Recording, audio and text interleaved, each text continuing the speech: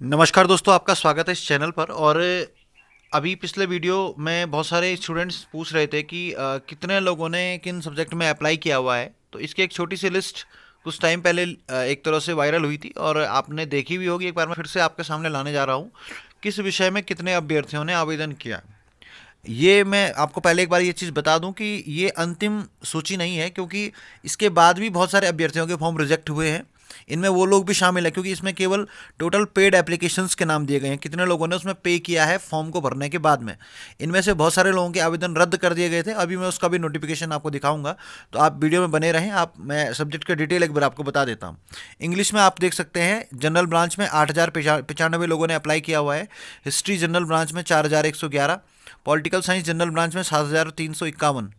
Economics general branch में चार चार सौ उन्नीस।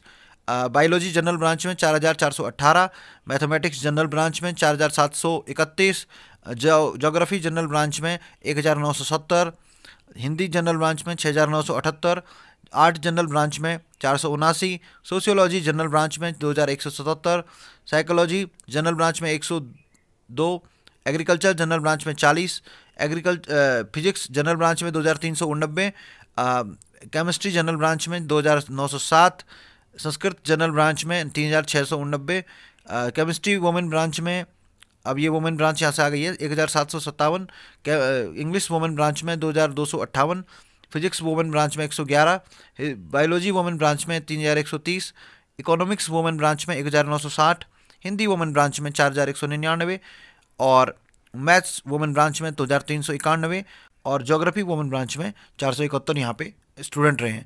तो कुल मिला के संख्या यहाँ पे होती है सत्तर हज़ार एक सौ तैंतीस। इतने अभ्यर्थियों ने आवेदन किया था और आवेदन करने के बाद में पे किया था, अपने एप्लीकेशन फॉर्म पर पेमेंट किया था और अपना एप्लीकेशन कंप्लीट किया था। अब यहाँ पे मैं आपको एक चीज़ बताना चाहूँगा, दो चीज़ें यहाँ पे पढ़ रहे हैं आप। एक जनरल ब्रांच है और एक वुमेन ब्रांच है। जनरल ब्रांच का मतलब होता है कि जो केवल जनरल कैटेगरी से इसका मतलब नहीं है। जनरल ब्रांच का मतलब है जो ओपन पद हैं, जो जिसमें हर कोई अप्लाई कर सकता है। तो उन्हें जनरल ब्रांच कहा गया और एक वुमेन ब्रांच है जिसे महिला शाखा कहते हैं, जिसमें केवल महिला अभ्यर्थी ही आवेदन कर सकती है। तो जनरल ब्रांच का मतलब जितने भी लोगों ने, जो सामान्य जितने भी पद निकले हुए थे नॉर्मल उन पदों पर आवेदन किया है, ये वो लोग हैं। अब मैं आपको बताता हूँ कि इनमें से बहुत सारे जो सब्जेक्ट हैं उनमें बहुत सारे फॉर्म रिजेक्ट हुए हैं। कारण है कि बहुत सारे लोगों ने फॉर्म को अच्छे तरीके से फिल नहीं किया। कुछ लोगों की जो एसेंशियल क्वालिफिकेशन है, वो कंप्लीट नहीं हो रही थी। बहुत सारे सब्जेक्ट इनमें ऐसे हैं, जिनमें अलग अलग सब्जेक्ट और भी होते हैं इंटर डिसिप्लिनरी जिनको हम कहते हैं, उसी सब्जेक्ट के अंतर्गत जो आते हैं। तो एलाइड सब्जेक्ट भी जिन्हें हम कहते हैं तो कई लोगों ने एलाइड सब्जेक्ट से फॉर्म भरा था। लेकिन जो एलाइड सब्जेक्ट स्वीकृत थे, उनके तो फॉर्म स्वीकृत किए गए। लेकिन बहुत सारे एलाइड सब्जेक्ट जो होते हैं, यहाँ पर यू उन्हें मानता नहीं है तो इस कारण उन्हें भी रिजेक्ट किया गया है। तो ये कुछ मुख्य कारण थे, जिस जिस कारण बहुत सारे इन सत्तर हज़ार में से काफ़ी सारे लोगों के फॉर्म रिजेक्ट हुए हैं। अब वो कितने हुए हैं, ये मैं आपको बताना चाहता हूँ। इसमें आप समझ सकते हैं, सत्तर हज़ार में वो लोग भी हैं जिन्होंने दो दो बार फॉर्म भरा है। कई बार एक फॉर्म गलत भरने के बाद दोबारा दूसरा फॉर्म भरा और पहले फॉर्म को रिजेक्ट किया है। तो वो भी कहीं ना कहीं पेड कैंडिडेट की श्रेणी में आता है। अब मैं अगली लिस्ट आपको दिखाने जा रहा हूँ। अब आप देखिए, ये आयोग का नोटिफिकेशन है 10 फरवरी 2021 का।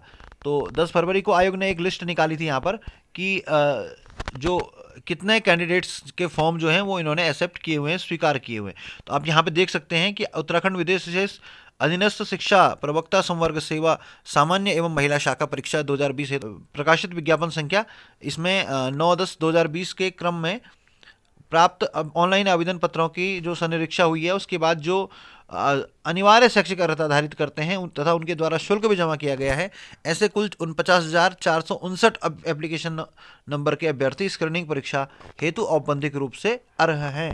तो आप समझ सकते हैं उनपचास हज़ार लोगों ने यहाँ पे क्या किया है। उनके फॉर्म को एक्सेप्ट किया गया। और आप समझ सकते हैं उन पचास हज़ार चार सौ उनसठ में से कितने लोगों ने परीक्षा नहीं दी है। तो आप समझ सकते हैं कम से कम दो तीन हज़ार लोगों ने चार, दो चार या पाँच हज़ार तक हो सकता है अभ्यर्थियों ने परीक्षा नहीं दी होगी। तो लगभग आप समझ सकते हैं पैंतालीस हज़ार कैंडिडेट हैं। अब जो पिछली मैंने लिस्ट आपको दिखाई थी, वो सत्तर हज़ार कैंडिडेट्स की थी और लगभग पैंतालीस हज़ार लोग यहाँ पर परीक्षा में शामिल हुए हैं। तो अब आप समझ सकते हैं कि एक विषय में कितने अभ्यर्थी हैं। बाकी आगे आप अनुमान स्वयं लगाइएगा। आपको कोई डाउट हो आप कमेंट बॉक्स में लिखें। आ, कुछ लोग क्रोधित हो जाते हैं हमारी वीडियो से और उन्हें इसमें अगर संतुष्टिकारक जानकारी नहीं मिलती है तो उनसे मैं क्षमा चाहता हूँ। सर्वे में आप लोग ज़रूर भाग लेते रहें और ऑब्जेक्शन भरने की जो अंतिम तिथि है वो छः तारीख को है। चैनल को सब्सक्राइब करें और जल्द ही मिलते हैं एक नई वीडियो के साथ। धन्यवाद नमस्कार।